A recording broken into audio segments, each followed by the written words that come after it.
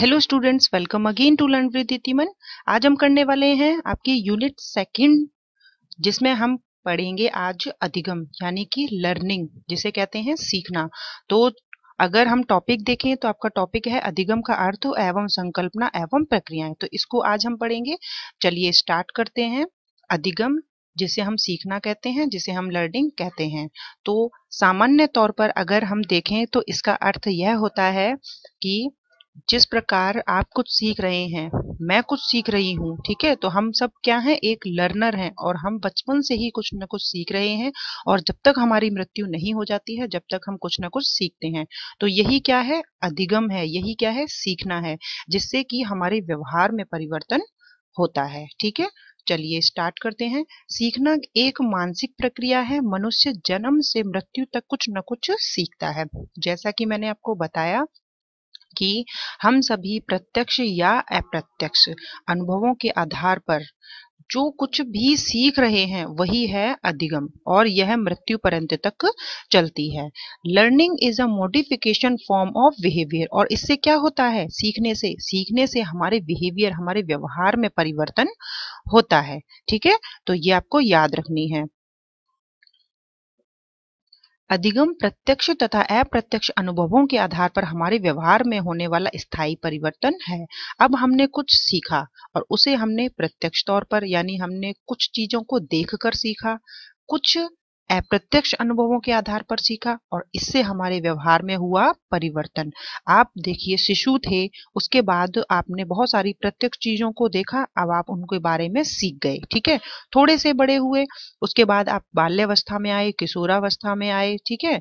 तो वहाँ पर आपने क्या, बहुत सारे एक्सपीरियंस लिए अप्रत्यक्ष तौर पर। अब प्रत्यक्ष और अप्रत्यक्ष अनुभवों के आधार पर आपके व्यवहार में क्या हुआ? स्थायी परिवर्तन। तो यही क्या है? अधिगम। यही क्या है? सीखना। ठीक है? जैसे मैं आपको पढ़ा रही हूँ, आप कुछ सीख रहे हैं। ठीक है? और यही चीज़ मैंने आपको पढ़ाने से पहले खुद भी पढ़ी होगी। तो मैंने भी क्या किया? सीखा था। ठीक है? तो यही क्या है? सीखना है। अब आप भी इनको पढ़ने के बाद एग्ज़ाम देंगे, आप टीचर बनेंगे और उसके बाद आप बच्चों को सिखाएँगे। तो आपने क्या किया? पहले प्रत्यक्ष अनुभव लिया, फिर आपने क्या किया? उसको दूसरे बच्चों को सिखाया। उसके बाद फिर आपने अनुभव लिया। तो इन अनुभवों के आधार पर, इन प्रैक्टिस और इन एक्सपीरियंस के आधार पर आपके बिहेव में जो चेंज आया, वही क्या है? अधिगम है, वही क्या है? सीखना है। ठीक है? इस चीज़ को आपको याद रखना है। तो अगर आपसे पूछा जाए, अधिगम क्या है? तो आपको याद रखना है, अधिगम एक मानसिक प्रक्रिया है और यह हमारे व्यवहार में परिवर्तन लाती है, जो कि प्रत्यक्ष भी हो सकता है और अप्रत्यक्ष भी हो सकता है। चलिए। नेक्स्ट है डेफिनेशन मार्गन की। डेफिनेशन आपके एग्ज़ाम में पूछी जाती है, आपको पता है तो आपको ये याद भी रखनी है। सबसे पहले इनको समझना ज़रूरी है।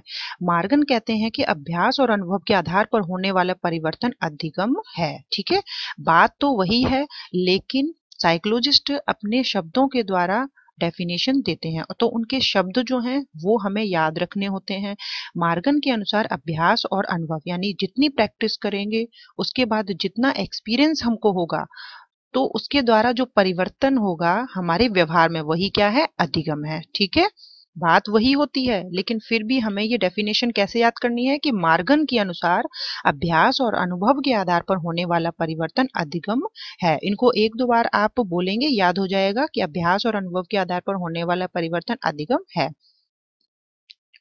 नेक्स्ट है विलियम वुडवर्थ नवीन ज्ञान और नवीन प्रक्रियाओं का अर्जन ही सीखना है, ठीक है? तो हमने नवीन ज्ञान, जो भी हमने नया सीखा नवीन प्रक्रियाएँ, उसके बाद हमने जब सीखा है तो हमने कुछ ना कुछ प्रोसेस तो देखा होगा। कुछ ना कुछ प्रोसेस के द्वारा हमने उस कार्य को किया होगा। जो भी ज्ञान लिया है, उसके लिए कुछ ना कुछ प्रोसेस रही होगी। तो उसके द्वारा जो हमने सीखा, वही क्या है? अधिगम है, वही सीखना है। विलियम वुडवर्थ के अनुसार नवीन ज्ञान और नवीन प्रक्रियाओं का अर्जन ही सीखना है। अब देखिए, यहाँ क्या है कि सीखने के लिए आप किसी को केवल मोटिवेट कर सकते हैं। आप उसके साथ ज़बरदस्ती नहीं कर सकते हैं। अब मान लीजिए एक जो घोड़ा है, उसको आप तालाब तक ले जा सकते हो, ठीक है?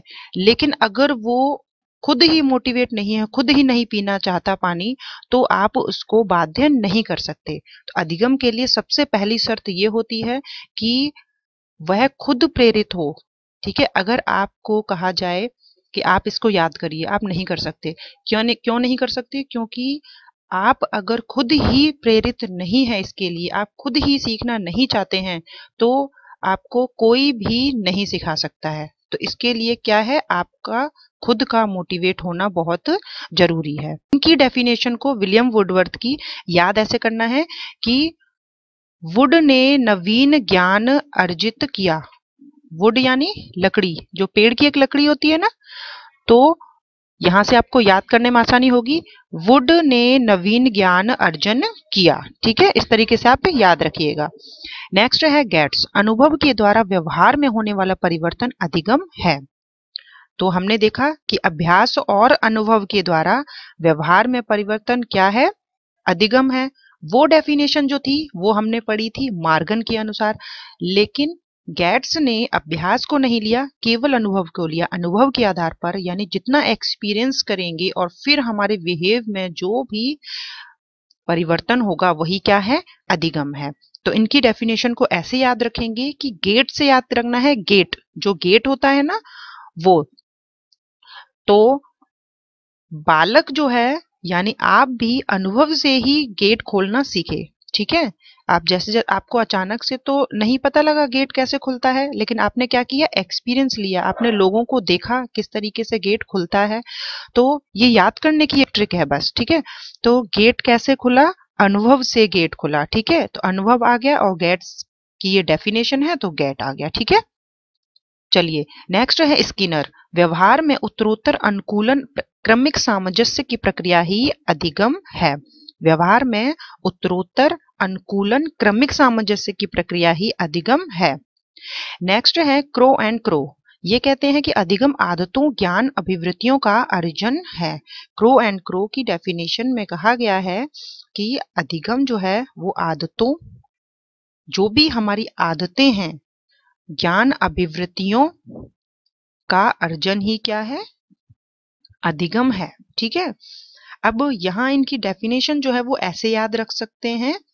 कि छोटा बच्चा जो होता है, उसकी आदत क्या होती है? काय काय करने की। हम पहले भी डेफिनेशन में क्रो एंड क्रो की इसी तरीके से याद किए हुए हैं कि क्रो एंड क्रो यानी काय काय ठीक है?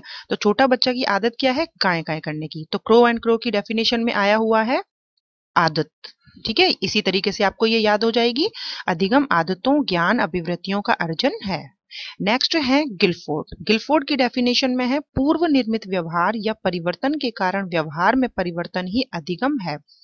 पहले से जो हमारे व्यवहार थे, उसके बाद उन व्यवहारों में हुआ परिवर्तन। उसके कारण व्यवहार में परिवर्तन क्या है? अधिगम है। ठीक है?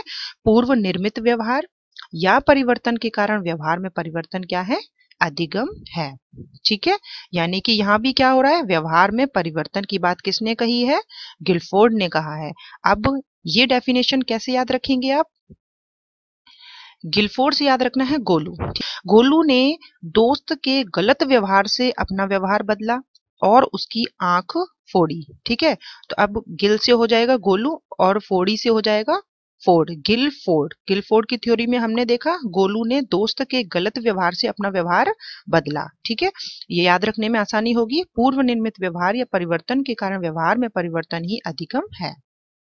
नेक्स्ट है डेफिनेशन किंग्सले गैरी की अभ्यास के फलस्वरूप नवीन तरीके से व्यवहार में परिवर्तन लाने की प्रक्रिया ही अधिगम है। किंग्सले की डेफिनेशन में किंग्सले भी अभ्यास को लेकर चल रहे हैं प्रैक्टिस को लेकर चल रहे हैं। और हमने देखा था कि अनुभव की जो बात है, वो कर रहे थे गेट्स ठीक है? और किंग्सले गैरी जो है, वो बात कर रहे हैं अभ्यास की।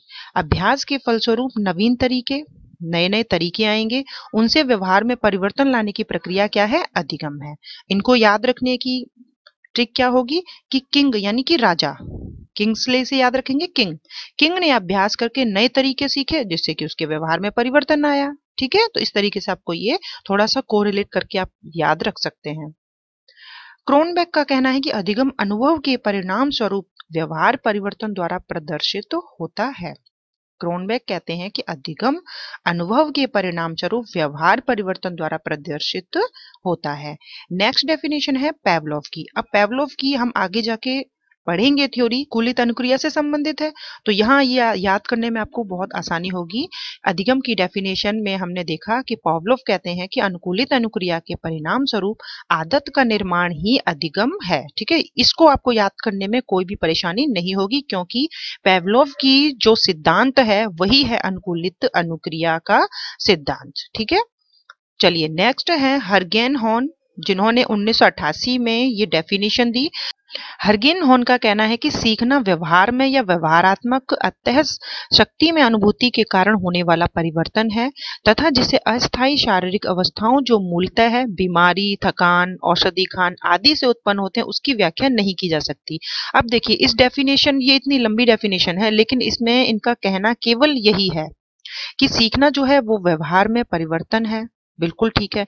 लेकिन इसे जब कोई व्यक्ति शारीरिक तौर पर बीमार हो, थका हुआ हो या उसने किसी दवाइयों का सेवन किया हो तो वह सीखने में नहीं लिया जाएगा, क्योंकि उस वक्त उसकी मानसिक स्थिति जो है, वह उस स्थिति में स्थिति में नहीं होती है कि वह कुछ सीख रहा होता है, ठीक है? तो उसकी व्याख्या करना भी गलत है कि वह कुछ बीमारी में भी सीख रहा है या थकान में भी सीख रहा है या उसने कुछ दवाइयाँ खाई हैं तो उससे भी सीख रहा है, क्योंकि यह तो केवल एक क्षण भर का है। यह अस्थाई है, यानी कि वह हम देख रहे हैं कि व्यवहार में स्थायी परिवर्तन क्या है? अधिगम है। तो ये तो अस्थायी शारीरिक अवस्थाएँ हो रही हैं उसके साथ। इसे अधिगम में इंक्लूड नहीं किया जाएगा। ठीक है? ये कौन कहते हैं? हरगेन हॉर्न। सीखना क्या है? व्यवहार में, केवल व्यवहार में परिवर्तन है। ठीक है? तो जैसे ही हम, हमारी भी हमें बीमारी होती है, हमारी तबीयत खराब होती है तो उस वक्त जो परिवर्तन हो रहा होता है, उसे सीखने में इंक्लूड नहीं किया जाएगा। तो हमने देखा कि हमने जो भी डेफिनेशन पढ़ी, वहाँ हमें यही पता चला कि हम जैसे जैसे प्रैक्टिस करते हैं, जो भी हम लाइफ में एक्सपीरियंस लेते हैं, यही अधिगम में आता है। अब हम करते हैं अधिगम की प्रक्रिया, यानी सीखने का क्या प्रोसेस होता है? ठीक है प्रोसेस ऑफ़ लर्निंग सबसे पहले हमें उस चीज़ को सीखने के लिए मिली अभिप्रेरणा। यानी अगर हम अंदर से ही हमारी इच्छा नहीं है, हम उसको सीखना नहीं चाहते हैं और हमारी अंदर से इच्छा नहीं है तो हम उस चीज़ को सीख नहीं सकते हैं। सबसे पहले सीखने के लिए होना चाहिए मोटिवेशन मैं आपको अगर मोटिवेट ही नहीं करूँगी तो आप कैसे सीख पाओगे? नहीं सीख पाओगे। अगर मैं आपको पहले से ही निराश कर दूँगी कि नहीं, इससे कुछ नहीं होने वाला, अगर आपने सीख भी लिया तो आपके एग्ज़ाम में ये बिल्कुल भी फ़ायदा नहीं करेगा। तो सोचिए, जब अगर मैं आपको डीमोटिवेट कर दूँगी तो आप उस चीज़ को सीखने के लिए प्रेरित नहीं होंगे। तो अधिगम का सबसे फ़र्स्ट स्टेप है अभी प्रेरणा मोटिवेशन उसके बाद जैसे ही मोटिवेशन मिला आपको, आपने बहुत सारी अनुक्रियाएँ करना प्रारंभ कर दी। अब आप यूट्यूब से पढ़ेंगे, उसके बाद आप बुक से पढ़ेंगे या आप कोचिंग से पढ़ेंगे, आपने क्या किया? बहुत सारी अनुक्रियाएँ करना प्रारंभ कर दी, जिससे आपको मिला पुनर्वलन। अब आपको मिला कि हाँ मैं जिस लक्ष्य को प्राप्त करना चाहता हूँ तो वहाँ ये जो रास्ता मैंने अपनाया है, वो बिल्कुल ठीक है। आपको मिला फीडबैक, ठीक है? उसके बाद आपने की प्रैक्टिस। अब आप करने लगे प्रैक्टिस, जिससे कि आप वह चीज़ को बहुत अच्छे से सीख पाओ और लास्ट हो जाएगा अधिगम, ठीक है? तो ये प्रोसेस जो है, वो आप बिल्कुल नॉर्मल में समझिए कि सबसे पहले आप कर रहे हैं एग्ज़ाम की तैयारी, ठीक है? तैयारी के लिए आपको सबसे पहले किया मैंने मोटिवेट मोटिवेट के बाद आपने बहुत सारी अनुक्रियाएँ करना प्रारंभ कर दी. आपने बहुत सारे चैनल से पढ़ना स्टार्ट कर दिया, या लर्न विद दितिमन से पढ़ना स्टार्ट कर दिया, या कोचिंग से पढ़ना स्टार्ट कर दिया, जिससे मिला आपको फीडबैक मिला आपको पुनर्बलन, ठीक है? पुनर्बलन मिलने के बाद आपने की उसकी प्रैक्टिस प्रैक्टिस करने के बाद क्या होगा? अधिगम यानी कि सीख जाओगे, ठीक है? प्रैक्टिस यानी कि उसके बाद आपने क्या, बहुत सारे एक्सपीरियंस ले लिए हैं। तो उसके बाद आपका हुआ लर्निंग यानी सीखना। तो सीखने की ये एक प्रोसेस होती है जिसे आप याद रखिएगा। यहाँ पर इस तरीके से एग्ज़ाम में आपके फोर ऑप्शन दे दिए जाएँगे और एक जो है वो आपका मिस कर दिया जाएगा। ठीक है? तो यहीं से आपका प्रश्न जो है वो बन जाएगा कि इसमें से कौन सा नहीं? कोई और आपके इसमें डाल दिया जाएगा और पूछा जाएगा कि इनमें से कौन सा नहीं है। तो ये तो था आपके लिए अधिगम का अर्थ संकल्पना जिसमें हमने डेफिनेशन भी पढ़ ली और ये प्रोसेस ठीक है?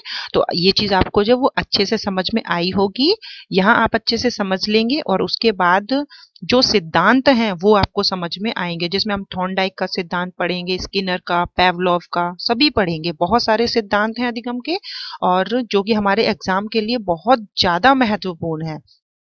मिलते हैं नेक्स्ट वीडियो में। Thank you